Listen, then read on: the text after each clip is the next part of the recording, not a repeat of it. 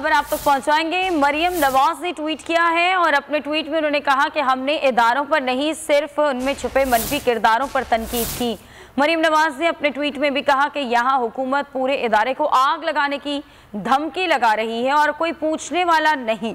ये सवाल उठाया है मरीम नवाज़ ने और अपने ट्वीट में इस बात को क्लियर किया उन्होंने कि हमने इदारों पर नहीं, सिर्फ़ उनमें छुपे मनफी किरदारों पर तनकीद की। साथ साथ उन्होंने भी कहा कि यहाँ हुकूमत पूरे इदारे को आग लगाने की धमकी लगा रही है और कोई पूछने वाला नहीं है।